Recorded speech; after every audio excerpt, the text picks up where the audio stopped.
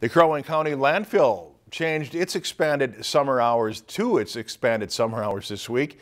Our AJ Feldman took a trip to the landfill to see how your trash gets handled and cared for. Every day is different. First, we uh, remember a lot of stuff I used to I learned in high school science and all the stuff they told you to never use. Yeah, you use it.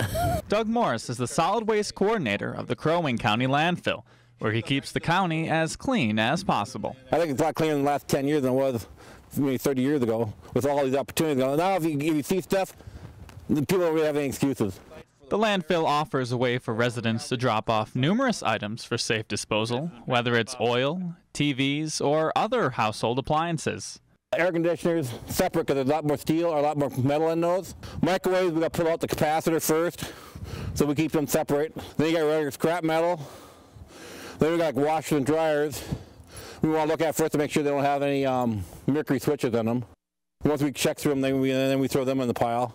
And our last part of it is like uh, freezers and refrigerators.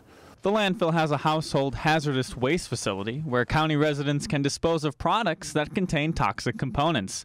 1,600 people make drop offs every year, and those that can still be used are offered back to the public. You know, a lot of people bringing stuff that's perfectly good yet. So this is free to anybody in Crow Wing County. They want to come here and pick the stuff up.